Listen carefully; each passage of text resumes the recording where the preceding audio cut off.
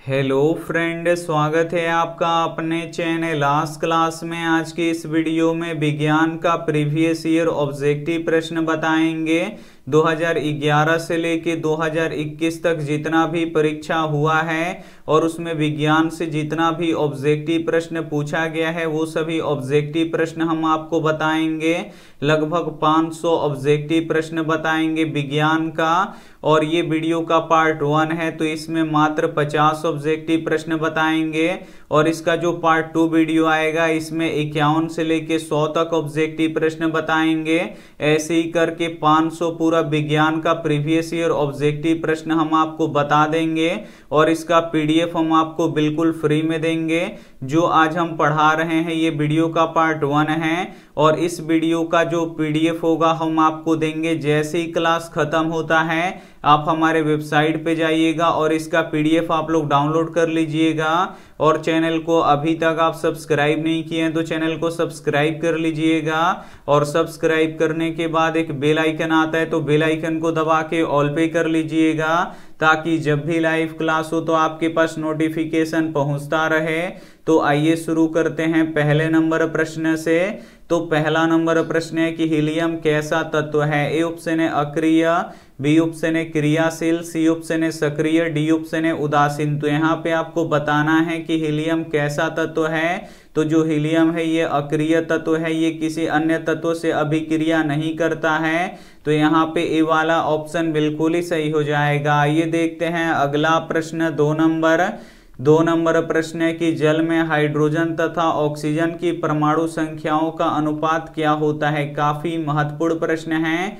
यहाँ पे आपको बताना है कि जल में हाइड्रोजन तथा ऑक्सीजन की परमाणु संख्याओं का अनुपात क्या होता है? तो जल का रासायनिक सूत्र क्या होता है? तो H2O होता है, जिसमें हाइड्रोजन कितना होता है? दो होता है, और ऑक्सीजन कितना होता है? एक होता है। तो जल में हाइड्रोजन तथा ऑक्सीजन की परमाणु संख्याओं का अनुपात कितना होता है? तो दो अनुपात एक होता है तो यहाँ पे ए वाला ऑप्शन बिल्कुल ही सही हो जाएगा। ये देखते हैं अगला प्रश्न, तीन नंबर। तीन नंबर प्रश्न है कि आवर्त सारणी में कितने आवर्त होते हैं? ए ऑप्शन है सात, बी ऑप्शन है नौ, सी ऑप्शन है आठ, डी ऑप्शन है बारह। तो यहाँ पे आपको बताना है कि आवर्त सारणी में कितने आवर्त होते हैं? तो आवर्त सारणी में सात आवर्त होते हैं, इसे आपको याद रखना है। यहाँ पे ए वाला ऑप्शन बिल्कुल ही सही हो जाएगा और वर्ग 18 होते हैं तो ये भी साथ में आपको याद रखना है। आइए देखते हैं अगला प्रश्न, चार नंबर। चार नंबर प्रश्न है कि इनमें से बॉन्ड ओएच का क्रियाशील मूलक कौन सा है? ए ऑप्शन है कीटोन, बी ऑप्शन है एल्डिहाइड, सी ऑप्शन है एल्कोहल, डी ऑप्शन है इनमें से कोई नहीं। तो यहाँ पे आपको बताना है कि इनमें से बॉन्ड ओएच का क्रियाशील मूलक कौन सा है? तो एल्कोहल है, यहाँ पे सी वाला ऑप्शन बिल्कुल ही सही हो जाएगा। ये देखते हैं अगला प्रश्न, पाँच नंबर। पाँच नंबर प्रश्न है कि प्रकृति में ऑक्सीजन का संतुलन कैसे बना रहता है? ए ऑप्शन है संयोजन क्रिया द्वारा, बी ऑप्शन है प्रकाश संश्लेषण द्वारा सी ऑप्शन है अपघटन द्वारा, डी ऑप्शन है इनमें से कोई नहीं। तो यहाँ पे आपको बताना है कि प्रकृति में ऑक्सीजन का संतुलन कैसे बना रहता है। तो प्रकाश संश्लेषण के द्वारा बना रहता है। यहाँ पे बी वाला ऑप्शन बिल्कुल ही सही हो जाएगा। और प्रकाश संश्लेषण की क्रिया में किस गैस का उपयोग होता है? तो कार्बन डाइऑक्साइड गैस का उपयोग होता है। और प्रकाश संश्लेषण के द्वारा कौन सा गैस बाहर निकलता है? तो ऑक्सीजन गैस बाहर निकलता है तो ये भी साथ में आपको याद रखना है। आइए देखते हैं अगला प्रश्न छ नंबर। छ नंबर प्रश्न है कि पौधों में श्वसन क्रिया के अंतर्गत एक एडीपी के टूटने पर कितना ऊर्जा मुक्त होता है? काफ़ी महत्वपूर्ण प्रश्न है। यहाँ पे आपको बताना है कि पौधों में श्वसन क्रिया के अंतर्गत एक एडीपी के टूटने पर कितना ऊर्जा मुक्त होता है? तो तीस दशमलव पाँच किलो मोल प्रति जूल ऊर्जा मुक्त होता है, इसे आपको याद रखना है। यहाँ पे ए वाला ऑप्शन बिल्कुल ही सही हो जाएगा। ये देखते हैं अगला प्रश्न, सात नंबर। सात नंबर प्रश्न है कि मानव हृदय में कितने कोष्ठ होता है? ए ऑप्शन है दो बी ऑप्शन है आठ, सी ऑप्शन है एक, डी ऑप्शन है चार। तो यहाँ पे आपको बताना है कि मानव हृदय में कितने कोष्ठ होता है। तो मानव हृदय में चार कोष्ठ होता है, इसे आपको याद रखना है। यहाँ पे डी वाला ऑप्शन बिल्कुल ही सही हो जाएगा। आइए देखते हैं अगला प्रश्न, आठ नंबर। आठ नंबर प्रश्न है कि मानव हृदय का औसत प्रांकुंचन दाब कितना होता है? काफ़ी महत्वपूर्ण प्रश्न है। यहाँ पे आपको बताना है कि मानव हृदय का औसत प्रांकुंचन दाब कितना होता है? तो 120 सौ mm होता है। यहाँ पे ए वाला ऑप्शन बिल्कुल ही सही हो जाएगा। एक प्रश्न ये भी पूछा जाता है कि अनुशीतलन दाब कितना होता है? तो 80 एम एम एच जी होता है तो ये भी साथ में आपको याद रखना है। आइए देखते हैं अगला प्रश्न, नौ नंबर। नौ नंबर प्रश्न है कि पौधों में वातपुत सर्जन किस भाग में होता है? ए ऑप्शन है जड़ में, बी ऑप्शन है तना में, सी ऑप्शन है पत्ता में, डी ऑप्शन है फूल में। तो यहाँ पे आपको बताना है कि पौधों में वातपुत्सर्जन किस भाग में होता है? तो पत्ता में होता है, यहाँ पे सी वाला ऑप्शन बिल्कुल ही सही हो जाएगा। और जो पेड़ पौधों की पत्तियाँ होती हैं, ये हरा किसके कारण से दिखाई देती हैं? तो क्लोरोफिल के कारण से दिखाई देती हैं। तो ये भी साथ में आपको याद रखना है। आइए देखते हैं अगला प्रश्न, दस नंबर। दस नंबर प्रश्न है कि कृत्रिम वृक्क किन अपशिष्ट उत्पादनों को रुधिर से अपोहन द्वारा पृथक करता है? ए ऑप्शन है नाइट्रोजनी, बी ऑप्शन है कार्बन, सी ऑप्शन है ऑक्सीजन, डी ऑप्शन है इनमें से कोई नहीं। तो यहाँ पे आपको बताना है कि कृत्रिम वृक्क किन अपशिष्ट उत्पादनों को रुधिर से अपोहन द्वारा पृथक करता है। तो नाइट्रोजनी पदार्थ को पृथक करता है। यहाँ पे ए वाला ऑप्शन बिल्कुल ही सही हो जाएगा। आइए देखते हैं अगला प्रश्न है, ग्यारह नंबर। ग्यारह नंबर प्रश्न है कि हाइड्रा में प्रजनन किस विधि से होता है? ए ऑप्शन है द्विखंडन, बी ऑप्शन है मुकुलन, सी ऑप्शन है लैंगिक जनन, डी ऑप्शन है इनमें से सभी। तो यहाँ पे आपको बताना है कि हाइड्रा में प्रजनन किस विधि से होता है? तो मुकुलन विधि से होता है। यहाँ पे बी वाला ऑप्शन बिल्कुल ही सही हो जाएगा। और अमीबा में द्विखंडन होता है। तो ये भी साथ में आपको याद रखना है। आइए देखते हैं अगला प्रश्न, बारह नंबर बारह नंबर प्रश्न है कि किसी माध्यम के अपर्तनांक का मान क्या होता है? काफ़ी महत्वपूर्ण प्रश्न है। ए ऑप्शन है साइन आर बटा साइन आई बी ऑप्शन है साइन आई बट्टा साइन आर सी ऑप्शन है sine I into sine R D option है sine I plus sine R तो यहाँ पे आपको बताना है कि किसी माध्यम के अपर्तनांक का मान क्या होता है? तो साइन आई बटा साइन आर होता है। यहाँ पे बी वाला ऑप्शन बिल्कुल ही सही हो जाएगा। आइए देखते हैं अगला प्रश्न, तेरह नंबर। तेरह नंबर प्रश्न है कि दाढ़ी बनाने में कौन सा दर्पण का उपयोग किया जाता है? ए ऑप्शन है समतल दर्पण का, बी ऑप्शन है उत्तल दर्पण का, सी ऑप्शन है अवतल दर्पण का, डी ऑप्शन है इनमें से कोई नहीं। तो यहाँ पे आपको बताना है कि दाढ़ी बनाने में कौन सा दर्पण का उपयोग किया जाता है। तो अवतल दर्पण का उपयोग किया जाता है। यहाँ पे सी वाला ऑप्शन बिल्कुल ही सही हो जाएगा। जो अवतल दर्पण होता है, ये किसी भी वस्तु का बड़ा प्रतिबिंब बनाता है। इसीलिए दाढ़ी बनाने में अवतल दर्पण का उपयोग किया जाता है। यहाँ पे सी वाला ऑप्शन बिल्कुल ही सही हो जाएगा। ये देखते हैं अगला प्रश्न, चौदह नंबर। चौदह नंबर प्रश्न है कि स्पेक्ट्रम में किस रंग की किरण का झुकाव अधिक होता है? ए ऑप्शन है लाल बी ऑप्शन है हरा, सी ऑप्शन है पीला, डी ऑप्शन है बैगनी। तो यहाँ पे आपको बताना है कि स्पेक्ट्रम में किस रंग की किरण का झुकाव अधिक होता है।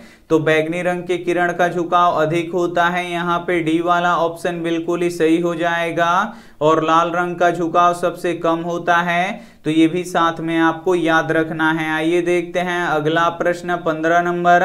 पंद्रह नंबर प्रश्न है कि विद्युत फ्यूज विद्युत धारा के किस प्रभाव पे कार्य करता है? ए ऑप्शन है उष्मीय प्रभाव पे, बी ऑप्शन है चुंबकीय प्रभाव पे, सी ऑप्शन है रासायनिक प्रभाव पे, डी ऑप्शन है इनमें से कोई नहीं। तो यहाँ पे आपको बताना है कि विद्युत फ्यूज विद्युत धारा के किस प्रभाव पे कार्य करता है? तो ये उष्मीय प्रभाव पे कार्य करता है। यहाँ पे ए वाला ऑप्शन बिल्कुल ही सही हो जाएगा। आइए देखते हैं अगला प्रश्न 16 नंबर। 16 नंबर प्रश्न है कि किसी कुंडली का प्रतिरोध ज्ञात करने के लिए क्या सूत्र होता है? तो भी इजकल टू आई आर होता है। तो यहाँ से आपको प्रतिरोध का सूत्र निकालना है। तो यहाँ पे देखिए आपको आर का मान निकालना है। तो यहाँ पे देखिए आई इधर गुणा कर रहा है तो इधर आके भाग करेगा। यानी भी बट्टा आई बराबर आर हो जाएगा। तो आर बराबर क्या हो जाएगा? भी बट्टा आई हो जाएगा। यहाँ पे सी वाला ऑप्शन बिल्कुल ही सही हो जाएगा। आइए देखते हैं अगला प्रश्न, सत्रह नंबर। सत्रह नंबर प्रश्न है कि डायनेमो से किस प्रकार की धारा प्राप्त होती है? ए ऑप्शन है दिष्ट धारा बी ऑप्शन है प्रत्यावर्ती धारा, सी ऑप्शन है दोनों, डी ऑप्शन है, इनमें से कोई नहीं। तो यहाँ पे आपको बताना है कि डायनेमो से किस प्रकार की धारा प्राप्त होती है? तो दिष्ट धारा और प्रत्यावर्ती धारा दोनों प्राप्त होती है। यहाँ पे सी वाला ऑप्शन बिल्कुल ही सही हो जाएगा। आइए देखते हैं अगला प्रश्न, अठारह नंबर। अठारह नंबर प्रश्न है कि डेंगू उत्पन्न करने वाला मच्छर किस तरह के जल में रहता है? ए ऑप्शन है साफ़ जल में बी ऑप्शन है गंदा जल में सी ऑप्शन है खरा जल में डी ऑप्शन है इनमें से सभी में। तो यहाँ पे आपको बताना है कि डेंगू उत्पन्न करने वाला मच्छर किस तरह के जल में रहता है। तो साफ़ जल में रहता है, इसे आपको याद रखना है। यहाँ पे ये वाला ऑप्शन बिल्कुल ही सही हो जाएगा। आइए देखते हैं अगला प्रश्न 19 नंबर। 19 नंबर प्रश्न है कि निम्न में से कौन बायोगैस ईंधन का स्रोत नहीं है? काफ़ी महत्वपूर्ण प्रश्न है। इसमें से आपको बताना है कि कौन बायोगैस ईंधन का स्रोत नहीं है तो नाभिकीय ऊर्जा नहीं है, इसे आपको याद रखना है। यहाँ पे सी वाला ऑप्शन बिल्कुल ही सही हो जाएगा। ये देखते हैं अगला प्रश्न 20 नंबर। 20 नंबर प्रश्न है कि पैरुएट के विखंडन से कार्बन डाइऑक्साइड जल तथा ऊर्जा मुक्त होता है और यह क्रिया किसमें होता है? ए ऑप्शन है कोशिका द्रव में। बी ऑप्शन है माइट्रोकॉन्ड्रिया में सी ऑप्शन है हरित लवक में डी ऑप्शन है केंद्रक में। तो यहाँ पे आपको बताना है कि पायरुएट के विखंडन से कार्बन डाइऑक्साइड जल तथा ऊर्जा मुक्त होता है और यह क्रिया किसमें होता है? तो माइट्रोकॉन्ड्रिया में होता है। यहाँ पे बी वाला ऑप्शन बिल्कुल ही सही हो जाएगा। आइए देखते हैं अगला प्रश्न 21 नंबर। 21 नंबर प्रश्न है कि निम्न में से कौन सा पदार्थ लेंस बनाने के लिए प्रयोग नहीं किया जाता है? ए ऑप्शन है जल बी ऑप्शन है कांच सी ऑप्शन है प्लास्टिक डी ऑप्शन है मिट्टी। तो यहाँ पे आपको बताना है कि निम्न में से कौन सा पदार्थ लेंस बनाने के लिए प्रयोग नहीं किया जाता है? तो मिट्टी का प्रयोग हम लेंस बनाने में नहीं करते हैं। यहाँ पे डी वाला ऑप्शन बिल्कुल ही सही हो जाएगा। ये देखते हैं अगला प्रश्न 22 नंबर। 22 नंबर प्रश्न है कि किसी वस्तु का समान आकार का प्रतिबिंब प्राप्त करने के लिए वस्तु को उत्तल लेंस के सामने कहाँ रखें? ए ऑप्शन है फोकस पर बी ऑप्शन है वक्रता केंद्र पर सी ऑप्शन है अनंत पर डी ऑप्शन है प्रकाशीय केंद्र पर। तो यहाँ पे आपको बताना है कि किसी वस्तु का समान आकार का प्रतिबिंब प्राप्त करने के लिए वस्तु को उत्तल लेंस के सामने कहाँ रखें? तो वक्रता केंद्र पर रखें, इसे आपको याद रखना है। यहाँ पे बी वाला ऑप्शन बिल्कुल ही सही हो जाएगा। आइए देखते हैं अगला प्रश्न, तेईस नंबर।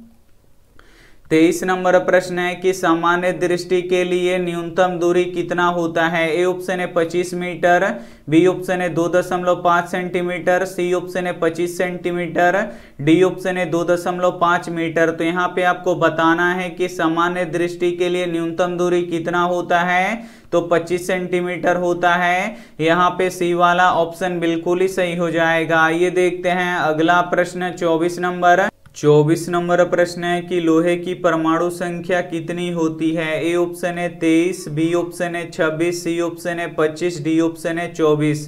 तो यहाँ पे आपको बताना है कि लोहे की परमाणु संख्या कितनी होती है? तो लोहे की परमाणु संख्या 26 होती है। यहाँ पे बी वाला ऑप्शन बिल्कुल ही सही हो जाएगा। आइए देखते हैं अगला प्रश्न 25 नंबर।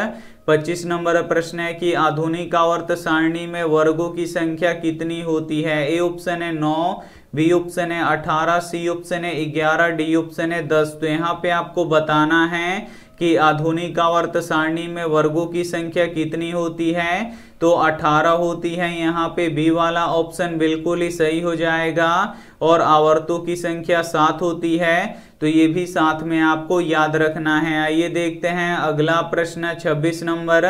26 नंबर प्रश्न है कि कोई विलियन लाल लिटमस पत्र को नीला कर देता है? तो उसका पीएच मान कितना होगा? काफ़ी महत्वपूर्ण प्रश्न है। यहाँ पे आपको बताना है कि कोई विलियन लाल लिटमस पत्र को नीला कर देता है। तो लाल लिटमस पत्र को नीला कौन करता है? छार करता है। और छार का पीएच मान कितना होता है? तो सात से लेके चौदह के बीच में होता है। तो जिसका पीएच मान दस होगा, ये क्या करेगा कि लाल लिटमस पत्र को नीला कर देगा। यहाँ पे बी वाला ऑप्शन बिल्कुल ही सही हो जाएगा। ये देखते हैं अगला प्रश्न, सताइस नंबर। सताइस नंबर प्रश्न है कि बॉन्ड सी एच ओ अभिक्रियाशील मूलक को क्या कहते हैं? ए ऑप्शन है एल्डिहाइड बी ऑप्शन है एल्कोहल सी ऑप्शन है कीटोन डी ऑप्शन है इनमें से कोई नहीं। तो यहाँ पे आपको बताना है कि बॉन्ड सी एच ओ अभिक्रियाशील मूलक को क्या कहते हैं? तो एल्डिहाइड कहते हैं, यहाँ पे ए वाला ऑप्शन बिल्कुल ही सही हो जाएगा। ये देखते हैं अगला प्रश्न 28 नंबर। 28 नंबर प्रश्न है कि निम्न में से कौन सा पद विद्युत परिपथ में विद्युत शक्ति को निरूपित नहीं करता है? काफ़ी महत्वपूर्ण प्रश्न है। यहाँ पे आपको बताना है कि निम्न में से कौन सा पद विद्युत परिपथ में विद्युत शक्ति को निरूपित नहीं करता है? तो आई आर स्क्वायर नहीं करता है, इसे आपको याद रखना है। यहाँ पे बी वाला ऑप्शन बिल्कुल ही सही हो जाएगा। ये देखते हैं अगला प्रश्न, उनतीस नंबर। उनतीस नंबर प्रश्न है कि विद्युत धारा उत्पन्न करने की युक्ति को क्या कहते हैं? ए ऑप्शन है जनित्र बी ऑप्शन है गैल्वेनोमीटर सी ऑप्शन है ए मीटर डी ऑप्शन है मोटर तो यहाँ पे आपको बताना है कि विद्युत धारा उत्पन्न करने की युक्ति को क्या कहते हैं? तो जनित्र कहते हैं, यहाँ पे ए वाला ऑप्शन बिल्कुल ही सही हो जाएगा। ये देखते हैं अगला प्रश्न, तीस नंबर। तीस नंबर प्रश्न है कि लघु पतन के समय परिपथ में विद्युत धारा के मान पर क्या प्रभाव पड़ता है? ए ऑप्शन है कम हो जाता है, बी ऑप्शन है स्थिर रहता है, सी ऑप्शन है बहुत अधिक बढ़ जाता है, डी ऑप्शन है निरंतर होता है। यहाँ पे आपको बताना है कि लघु पतन के समय परिपथ में विद्युत धारा के मान पर क्या प्रभाव पड़ता है? तो बहुत अधिक बढ़ जाता है, इसे आपको याद रखना है। यहाँ पे सी वाला ऑप्शन बिल्कुल ही सही हो जाएगा। ये देखते हैं अगला प्रश्न, इकतीस नंबर। इकतीस नंबर प्रश्न है कि निम्न में से कौन जैव मात्रा ऊर्जा स्रोत का उदाहरण नहीं है? ए ऑप्शन है लकड़ी बी ऑप्शन है नाभिकीय ऊर्जा सी ऑप्शन है गोबर गैस डी ऑप्शन है कोयला। तो यहाँ पे आपको बताना है कि निम्न में से कौन जैव मात्रा ऊर्जा स्रोत का उदाहरण नहीं है तो नाभिकीय ऊर्जा नहीं है, इसे आपको याद रखना है। यहाँ पे बी वाला ऑप्शन बिल्कुल ही सही हो जाएगा। आइए देखते हैं अगला प्रश्न, बत्तीस नंबर। बत्तीस नंबर प्रश्न है कि मानव नेत्र में किस प्रकार का लेंस पाया जाता है? ए ऑप्शन है उत्तल लेंस, बी ऑप्शन है अवतल लेंस, सी ऑप्शन है ब्लैकार लेंस, डी ऑप्शन है बाइफोकल लेंस। तो यहाँ पे आपको बताना है कि मानव नेत्र में किस प्रकार का लेंस पाया जाता है। तो मानव नेत्र में उत्तल लेंस पाया जाता है। यहाँ पे ए वाला ऑप्शन बिल्कुल ही सही हो जाएगा। ये देखते हैं अगला प्रश्न, तैतीस नंबर। तैतीस नंबर प्रश्न है कि ओजोन के एक अणु में ऑक्सीजन के परमाणु संख्या कितनी होती है? ए ऑप्शन है एक, बी ऑप्शन है दो, सी ऑप्शन है तीन, डी ऑप्शन है चार। तो यहाँ पे आपको बताना है कि ओजोन के एक अणु में ऑक्सीजन के परमाणु संख्या कितनी होती है? तो तीन होती है। यहाँ पे सी वाला ऑप्शन बिल्कुल ही सही हो जाएगा। ये देखते हैं अगला प्रश्न, चौंतीस नंबर। चौतीस नंबर प्रश्न है कि मनुष्य में वृक एक तंत्र का भाग है, जो किससे संबंधित है? ए ऑप्शन है पोषण से, बी ऑप्शन है श्वसन से, सी ऑप्शन है उत्सर्जन से, डी ऑप्शन है परिवहन से। तो यहाँ पे आपको बताना है कि मनुष्य में वृक एक तंत्र का भाग है, जो किससे संबंधित है? तो उत्सर्जन से संबंधित है। यहाँ पे सी वाला ऑप्शन बिल्कुल ही सही हो जाएगा। ये देखते हैं अगला प्रश्न, पैंतीस नंबर। पैंतीस नंबर प्रश्न है कि दो तंत्रिका कोशिका के मध्य खाली स्थान को क्या कहते हैं? ए ऑप्शन है द्रमिका, बी ऑप्शन है सिनेप्स, सी ऑप्शन है एक्सॉन, डी ऑप्शन है आवेग। तो यहाँ पे आपको बताना है कि दो तंत्रिका कोशिका के मध्य खाली स्थान को क्या कहते हैं? तो सिनेप्स कहते हैं। यहाँ पे बी वाला ऑप्शन बिल्कुल ही सही हो जाएगा। ये देखते हैं अगला प्रश्न 36 नंबर। छत्तीस नंबर प्रश्न है कि प्राग कोष में होता है ए ऑप्शन है बाह्य दल, बी ऑप्शन है अंडाश है सी ऑप्शन है अंडप, डी ऑप्शन है पराकण तो यहाँ पे आपको बताना है कि पराग कोष में होता है तो पराग कोष में क्या होता है? तो पराग कण होता है। यहाँ पे डी वाला ऑप्शन बिल्कुल ही सही हो जाएगा। ये देखते हैं अगला प्रश्न, सैतीस नंबर। सैतीस नंबर प्रश्न है कि विकासीय दृष्टिकोण से हमारी किससे अधिक समानता है? ए ऑप्शन है भालू से, बी ऑप्शन है चिंपैंजी से, सी ऑप्शन है मकड़ी से, डी ऑप्शन है जीवाणु से। तो यहाँ पे आपको बताना है कि विकासीय दृष्टिकोण से हमारी किससे अधिक समानता है? तो चिंपैंजी से है, इसे आपको याद रखना है। यहाँ पे बी वाला ऑप्शन बिल्कुल ही सही हो जाएगा। ये देखते हैं अगला प्रश्न, अड़तीस नंबर। अड़तीस नंबर प्रश्न है कि मुकुलन द्वारा किसमें अलैंगिक जनन होता है? ए ऑप्शन है अमीबा में, बी ऑप्शन है ईस्ट में, सी ऑप्शन है प्लाज्मोडियम में, डी ऑप्शन है कोशिका में। तो यहाँ पे आपको बताना है कि मुकुलन द्वारा किसमें अलैंगिक जनन होता है? तो ईस्ट में होता है, इसे आपको याद रखना है। यहाँ पे बी वाला ऑप्शन बिल्कुल ही सही हो जाएगा। आइए देखते हैं अगला प्रश्न, उनतालीस नंबर। उनतालीस नंबर प्रश्न है कि कोई तत्व तो ऑक्सीजन के साथ अभिक्रिया कर उच्च गलनांक वाला यौगिक निर्मित करता है। यह यौगिक जल में विलय है तो यह तत्व हो सकता है। तो ये तत्व कैल्शियम हो सकता है। यहाँ पे ए वाला ऑप्शन बिल्कुल ही सही हो जाएगा। आइए देखते हैं अगला प्रश्न, चालीस नंबर, चालीस नंबर प्रश्न है कि संगमरमर का रासायनिक सूत्र क्या है? यहाँ पे आपको बताना है कि संगमरमर का रासायनिक सूत्र क्या होता है? तो सी ए सी ओ थ्री होता है, इसे आपको याद रखना है। यहाँ पे ए वाला ऑप्शन बिल्कुल ही सही हो जाएगा। ये देखते हैं अगला प्रश्न है इकतालीस नंबर। इकतालीस नंबर प्रश्न है कि bond C double O H अभिक्रियाशील मूलक को क्या कहते हैं? ए ऑप्शन है कीटोन बी ऑप्शन है एल्डिहाइड सी ऑप्शन है अम्ल डी ऑप्शन है इथर। तो यहाँ पे आपको बताना है कि bond C double O H अभिक्रियाशील मूलक को क्या कहते हैं? तो कार्बोक्सिलिक अम्ल कहते हैं। यहाँ पे सी वाला ऑप्शन बिल्कुल ही सही हो जाएगा। ये देखते हैं अगला प्रश्न, बयालीस नंबर।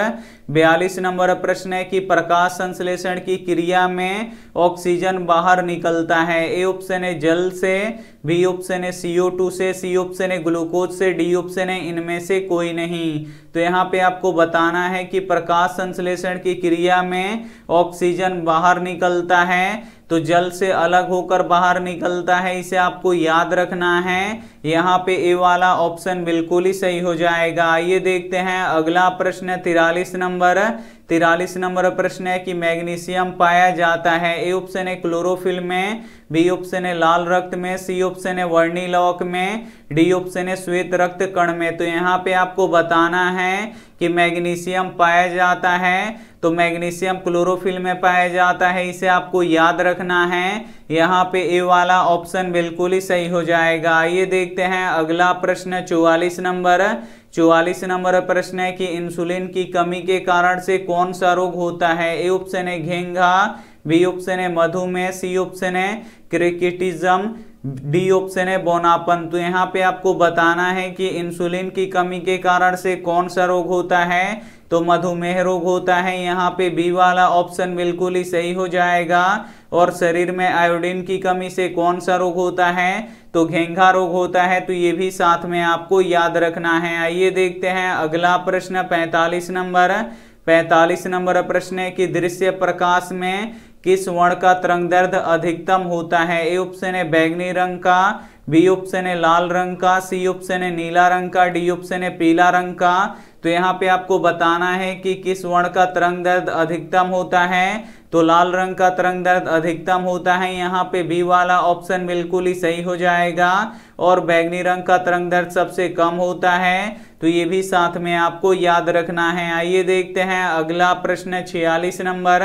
छियालीस नंबर प्रश्न है कि विद्युत शक्ति का ऐसा ही मात्रक क्या, हो, क्या होता है? ए ऑप्शन है बोल्ट बी ऑप्शन है वाट सी ऑप्शन है जूल डी ऑप्शन है कुलाम तो यहाँ पे आपको बताना है कि विद्युत शक्ति का ऐसा ही मात्रक होता है तो विद्युत शक्ति का ऐसा ही मात्रक वाट होता है। यहाँ पे बी वाला ऑप्शन बिल्कुल ही सही हो जाएगा। ये देखते हैं अगला प्रश्न, सैतालीस नंबर। सैतालीस नंबर प्रश्न है कि विद्युत बल्ब का तंतु बना होता है। ए ऑप्शन है लोहा का बी ऑप्शन है तांबा का सी ऑप्शन है टंगस्टन का डी ऑप्शन है एल्यूमिनियम का। तो यहाँ पे आपको बताना है कि विद्युत बल्ब का तंतु बना होता है। तो विद्युत बल्ब का तंतु किसका बना होता है? तो टंगस्टन का बना होता है। यहाँ पे सी वाला ऑप्शन बिल्कुल ही सही हो जाएगा। आइए देखते हैं अगला प्रश्न 48 नंबर।